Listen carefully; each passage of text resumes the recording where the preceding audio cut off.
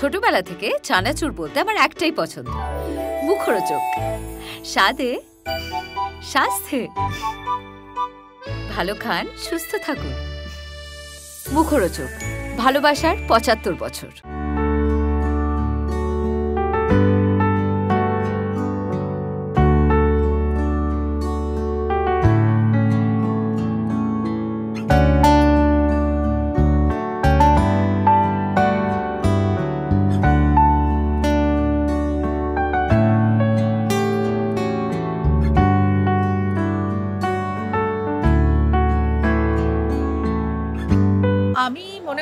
ছবিটা মানে আসা উচিত এবং মানুষের দেখা উচিত।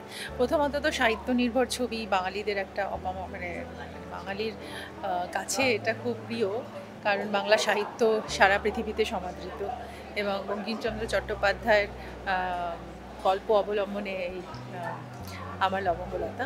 এবং আমরা সবসময় মানে এই গল্পটি রজনীর পয়েন্ট অফ ভিউ থেকে দেখেছি। রজনী অনেকবার হয়েছে। এবং বিভিন্ন বড় ডিরেক্টররা রজনী বানিয়েছেন।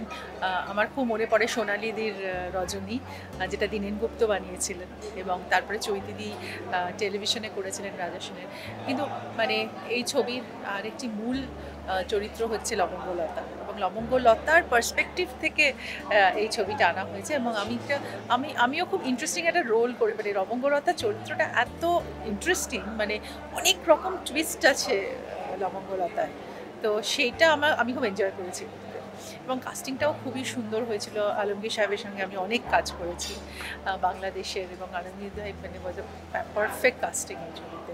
তারপরে ইন্দ্রনীল সেনগুপ্ত এবং আরও যারা কাজ করেছেন, পাপিয়াদি রুমকেদি রজনী ক্যারেক্টারে যে করেছে, খুব সুন্দর করেছে ভাস্বর আর আমাদের মাই ডার্লিং শ্রীলাদি। তো তো শ্রীলাদিও এই ছবিতে একটা দারুণ ভূমিকা আছে এবং আমি মনে করি যে প্রত্যেকটি চরিত্র এই ছবিতে খুব সুন্দরভাবে কন্ট্রিবিউট করেছে এবং অবশ্যই এই ছবির সংগীত বাপিদার দেওয়া এবং বাপিদার মনে হয় আমার যতদূর মনে হয় এটা বাপিদার শেষ বাংলা সিনেমা এবং তার জন্য বাপিদার পরিবারও খুব অপেক্ষা করছে এই ছবিটা যাতে রিলিজ হয় এবং আমি আর রঞ্জনাদি রঞ্জনাদি যখন একটা প্রবলেম হয়েছিল আমি খানিকটা এগিয়ে এসেছিলাম ছবিটা শেষ করতে, কিন্তু তার থেকেও বড় কথা, এটা বড় কথা না, আমরা, আমি শেষ করলাম না, উনি শেষ করলেন, বড় কথা যে ছবিটা শেষ হয়েছে এবং ছবিটা আসছে। তো আমি না ওরকমভাবে একটা কিছু ফেলে দিতে পারি না যে হ্যাঁ ঠিক আছে, একটা ছবি করলাম আর তার, তারপরে তার খোঁজ নিলাম না। সেটা আমার ভেতর থেকে আসে না। আমি মনে করি প্রত্যেকেরই একটা খুব মানে টিমের একটা ভীষণ কাজের ব্যাপার থাকে, সেখানে পরিশ্রম থাকে এবং সেই পরিশ্রমটাকে আমরা সফল তখনই করতে পারি যখন সেটা আমরা লাইম লাইটে নিয়ে আসি। তো এরকম বহু কাজই করেছি, করেও যাব। তো এইটা আমার মনে হয় যে দর্শকদের কাছে খুব প্রিয় একটা ছবি হতে চলেছে। বাপ্পা খুব দারুণ একটা কাজ করেছে। বাপ্পা খুব সুন্দর পরিচালনা করেছে ছবিটা। লেটস সি আমরা সবাই মানে ওয়েট করছি। এবছর আমার খুব ইন্টারেস্টিং ছবি রিলিজও আছে অনেকগুলো। তো তার মধ্যে আমার লবঙ্গলতাও একটি বিশেষ ছবি। তোমার লবঙ্গলতা বাংলাদেশে তো ডাইরেক্টলি মুক্তি পেতে পারে না আমাদের ছবি। এখনও সেই নিয়মটা মানে ভাঙা গেল না। কারণ বহু অন্যরকম কিছু টার্মস অ্যান্ড কন্ডিশন থাকে। বাট আমি মনে করি যে বাংলাদেশেও ছবি রিলিজ হতে পারে। একটা টেকনিক্যাল ব্যাপার আছে, সেটা যদি আমরা করতে পারি। আর বাংলাদেশের ফেস্টিভ্যালগুলোতে তো নিশ্চয়ই আমরা দেখাবো এবং নিয়ে যাব। এবং আলমগীর স্যার নিশ্চয়ই আমাদের কিছুটা হেল্প করবেন বাংলাদেশের ছবিটা দেখানোর ব্যাপারে। বাংলা সাহিত্য নিয়ে ছবি হ- হতেই থাকে কিন্তু বঙ্কিমচন্দ্রের গল্প নিয়ে খুব একটা বাংলা ছবি এখনকার দিনে হয় না। তো সেইটার জন্য আমি একা নই আমার মানে আমাদের গোটা টিম সবাই খুব এক্সাইটেড যে ফাইনালি ছবিটা বেরোচ্ছে। আমার ক্যারেক্টারটার নাম শচীন্দ্র আমি একজন ডাক্তার রজনীর সঙ্গে যার একটা সম্পর্ক। বেসিক্যালি তো বঙ্কিমচন্দ্রের রজনী গল্পটার অবলম্বনেই এটা। তো ডাক্তার এবং রজনীর চোখটাকে ভালো করে দেওয়ারই ওর একমাত্র লক্ষ্য জীবনের। এই আর কি জন্ম থেকে দেখতে পাও না? আমি জন্মান্ধ। শ্রীলাদির সঙ্গে শুধু এই কাজটা তো নয় প্রচুর কাজ করেছি আমি। এবং শ্রীলাদি চলে যাওয়ার এক মাস আগেও আমার সঙ্গে একটা জায়গায় দেখা হয়েছিল। আমি ভাবতেই পারিনি মানুষটা থাকবে না বা এখন এসে ছবিটা দেখে বারবার মনে হচ্ছে যে এই বোধহয় আসবে এই বোধহয় কথা বলবে। আনএক্সপেক্টেড ভাবাই যায় না। না এটা নিয়ে তো মানে আমি এটার জন্য উত্তেজিত এবং এটার জন্যই এখানে আসা, সিনেমাটা করা, যেহেতু এটা বঙ্কিমচন্দ্রের লেখা।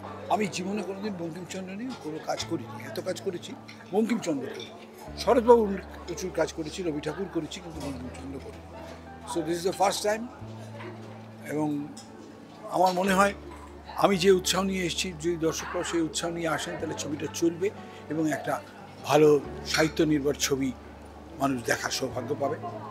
এবং আমি দেখতে অনুরোধ করব সবাইকে, সবাই যাতে এই ছবিটি দেখেন, আমার লবঙ্গলতা। না, টিভিতে বসে দেখবেন না, কবে টিভি রিলিজ করবে হলে গিয়ে দেখবেন, এইটুকুই অনুরোধ। খুবই ভালো একটা অভিজ্ঞতা এবং খুব ভালো একটা অনুভূতি যে সাহিত্য নিয়ে কাজ হচ্ছে। সত্যি তো এখন তো হয়ই না হয়ই না। সেই জন্য এরকম একটা ছবিতে ঘটনাচক্রে আমি কাজ করতে পেরেছি, সেই জন্য আমার নিজেকেও খুব লাকি মনে হচ্ছে এবং কাজটাও করেছি খুব আনন্দে। আমার বিশ্বাস, প্রত্যেকেই খুব আন্তরিকতা নিয়ে খুব মন দিয়ে কাজটা করেছে তো, ফলে মনে হয় কাজটা ভালোই হবে।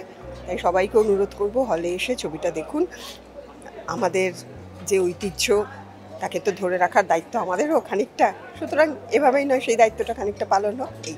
এইটাই লাভ যে এইটা করতে গিয়ে আবার চোখ বোলাতে হলো সেই বঙ্কিম রচনাবলী খুঁজে বার করতে হলো এই আর কি। এটা আশা করি সবার ক্ষেত্রে এই অভিজ্ঞতাটা হবে। হ্যাঁ আমার তো পড়াই ছিল। একদমই পড়া ছিল মনেও ছিল। সুতরাং কোনো অসুবিধা হয়নি ঠিক আছে ভালো লেগেছে। আমার চরিত্র হচ্ছে নায়ক মানে অমরনাথ তার নায়েব। আর তখনকার দিনে নায়েবরা ভীষণ বিশ্বাসভাজন তাদের গাইডেন্সেই চলতো। আমাকেও সেই জায়গাটা পালন করতে হয়েছে। আসলে ছবিটা করতে গিয়ে ওই যে স্ক্রিপ্ট রাইটার বলল না যে আমাকে প্রথমে এটাকে মডার্নাইজ করতে হয়েছে তারপর শুধু মডার্নাইজ নয় ডায়লগকেও মডার্নাইজ করতে হয়েছে। আমরা যদি ওই ভাষায় ডায়লগ বলতাম তাহলে তো হতো না। আবার একেবারে একদম আজকের মতন যদি বলতাম কাজী এর মাঝামাঝি একটা জায়গায় চলতে হয়েছে। এখন দেখি আলটিমেটলি জিনিসটা কেমন দাঁড়িয়েছে সেটা দেখার কৌতূহল আমি রইলাম। সামান্য আদালতকে অবমাননা করছেন। আমি শিলার সঙ্গে কাজ করেছি এর আগেও দুটো কাজ করেছি আমার স্ত্রী ভূমিকায় অভিনয় করেছিল। মৃত্যুটা তো খুব আশঙ্কা ঘটেছে। যে কোনো মানুষের মৃত্যু দুঃখজনক একজন শিল্পীর মৃত্যু আরও বেশি দুঃখজনক। আর she was very sweet speaking ভীষণ নরম মনের মানুষ ছিলেন আমি যে দেখেছিলাম। কোনো রকম কোনো স্টারডাম ছিল না ওর মধ্যে। আমি যে চরিত্রটা করেছি সেটা হচ্ছে লবঙ্গলতার মা। যদিও খুব ছোট পরিসরে কাজটা করেছি, কিন্তু গুরুত্বপূর্ণ ছিল। আমি লবঙ্গলতার মায়ের ভূমিকা অভিনয় করেছি। আমার একটা জিনিস খুব ভালো লেগেছে যে বঙ্কিমচন্দ্রের রজনী উপন্যাসকে কে আধার করেই যদিও ছবিটা বানানো হয়েছে, কিন্তু এটা একটা অন্য দৃষ্টিভঙ্গি দিয়ে মানে লবঙ্গলতার দৃষ্টিভঙ্গি দিয়ে ছবিটা দেখা হয়েছে। ফলে একটা অন্যরকম এক্সপেরিমেন্ট হয়েছে। এবার দেখা যাক সেটা কেমন হয়। ঠিকই বলছি। মেয়েটা মোটেও সুবিধের নয় কো। মায়ের সাথে এরকম অজস্র trailer launch music launch film launch premiere ইত্যাদিতে এসেছি। এই কলকাতায় যত হোটেল আছে, সব হোটেলের লবি সব হোটেলের এরকম ব্যাঙ্কুয়েট ফ্যাসিলিটিতে মায়ের সাথে হাজারবার এসেছি। আগে ছোটোবেলায় আসতাম ড্রাইভারের সাথে, তারপর যখন আমার লাইসেন্স হয়ে গেল, মা বলতো, তুই চালিয়ে নিয়ে চল। তো ওই সব স্মৃতিগুলো আজকে খুবই মনে পড়ছে। মায়ের ছবির উপরে মালা লাগানো দেখে খুবই অদ্ভুত লাগছে। বাবাও আছেন পেছনে। আমরা এটাই এখন আলোচনা করছিলাম। এই ছবিটার ব্যাপারে আমি কিছুই জানি না। আমি মায়ের রোলটা কি ছিল সেটাও জানি না টু বি ভেরি অনেস্ট আমি তো বাইরে থাকি বাট ট্রেলারটা দেখব, মাকে দেখতে পাবো, আর ছবিটা যখন প্রেমের করবে তখনও আসব। এতে বঙ্কিমচন্দ্রের ক্লাসিক নিয়ে তো বরাবরই ছবি হয়েছে। শরৎচন্দ্র, বঙ্কিমচন্দ্র, রবীন্দ্রনাথ নিয়ে বরাবরই প্রচুর ছবি হয়েছে। আর এই ছবিতে আমি স্পেশালি আরও ইন্টারেস্টেড হলাম যখন ঋতু বা বাপ্পাও যখন বলল যে, তুমি এই প্লিজ এই কাজটা করো। ওটা ঋতুর একটা সতীনের রোল হ্যাঁ? খুব সুন্দর ভেরি নাইস রিলেশনশিপ অ্যান্ড খুব মধুর সম্পর্ক যেরকম হয়ে থাকে। দুটো নারী তাদের একই পুরুষকে ঘিরে তাদের তাদের যে ভাবনা, চিন্তা, তাদের ভালোবাসা, তাদের শ্রদ্ধা, তাদের ভক্তি এবং সব কিছু মিলিয়ে তাদের কনসার্ন তো এই এইটা একটা অদ্ভুত সুন্দর একটা ক্যারেক্টারাইজেশন বাপ্পা করেছে অ্যান্ড লবঙ্গর চরিত্রটি আসলে বঙ্কিমচন্দ্রের সব থেকে ভীষণ ইন্টারেস্টিং একটা ক্যারেক্টার আমি এটি করেছিলাম। তখন দূরদর্শনে তেরোটা করে এপিসোড হতো। এত ভালো লেগেছিল দর্শকে যে আরও ওটা অনেক বেড়ে গেছিল এবং যখন হতো রজনী নাম দিয়ে, তখন কিন্তু রাস্তাঘাট সব ফাঁকা হয়ে যেত। এবং we had been like a family মানে সবাই, সবার সতীনাথ ছিল অনেকেই ছিল। তো we had been like a family তো এত দিন ধরে ওটা অভিনয়টা করেছিলাম তো, তারপর যখন শুনলাম যে ঋতু করছে লবঙ্গ এবং নাম দেওয়া হয়েছে আমার Labangalata. I had been so happy আমি বললাম, চলো তাহলে, ঠিক আছে, করা আছে। চলো চলো, দেখা যাক। অ্যান্ড আপনারা ক্লাসিক সবার বাড়িতেই লাইব্রেরি আছে, মোটামুটি, ছোট, বড়, মাঝারি। আপনারা বইগুলো বের করে একটু পড়বেন, দেখবেন, আমাদের এখন যা চলছে, তার সবটুকু আছে এই ক্লাসিকগুলোর মধ্যে। মানে যেটা আমাদের কমে গেছে, সেটা হচ্ছে খান্তি মানে আমরা ক্ষমা করতে ভুলে গেছি। ইয়া দেবী সর্বভূতেষু খান্তি রূপেণ সংস্থিতা, নমস্তাস্বৈ নমস্তাস্বৈ নমস্তাস্বৈ, নম নমঃ। অর্থাৎ খান্তিটা আমাদের ক্ষমাশীলতাটা নেই অ্যাবসলিউটলি নেই। তো এই যে ছোট ছোট বঙ্কিমচন্দ্র আমাদের এই উপন্যাসগুলোর মধ্যে করেছে এবং ঠিক ঠিক জায়গায় আমাদের বাপ্পা ধরেছে so it's really very interesting to work আপনারাও দেখবেন, আপনাদের নিশ্চয়ই ভালো লাগবে। খুব খারাপ লাগছে শ্রীলাকে আমি অনেক কাল থেকে চিনি এবং আমার নিজের প্রোডাকশন হাউসেও অনেক কটা চরিত্র করেছিল। এবং বারবার বলেছিল, এই, তোমার ভালো, এরকম তোমার সুন্দর সুন্দর গল্প, আমি গল্প বাঁধতাম। তো তুমি আমাকে বলবে আমাকে বলবে এবং আমরা এত সুন্দর করে কাজ করেছিলাম। আর ও না, খুব খুব লড়াকু। তা আমি বলেছিলাম যে তুমি এত সুন্দর এতক্ষণ ধরে মানে বিয়ন্ড স্কেডিউল কাজ হচ্ছিল। তো বলল, এটা আমি অনেক বড় বড় ডিরেক্টরের সাথে কাজ করেছিলাম। যারা আমাকে শিখিয়েছিলে কাজটা কাজই। সেই কাজটার মধ্যে যদি তোমার এনার্জি থাকে, তো I put in more and more energy only after the schedule is over এত ভালো লেগেছিল, আর সেটা এক্স্যাক্টলি ঋতুর মধ্যে দেখি। ঋতু হয়তো ওর শুরুটা একটু দেরি করে হয়। সব কিছু বেচারা প্রচুর কাজ করে, প্রচুর কাজ এত বছর ধরে একটি মেয়ে নিজেকে টকটকে সুন্দরী করে রেখে দিয়েছে।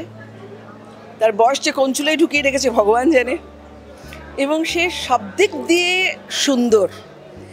একটা absolutely positive character who is playing in this film and Shrila যেটা বলেছিলেন only after the schedule is over we feel more and more energized ঋতুরও তাই।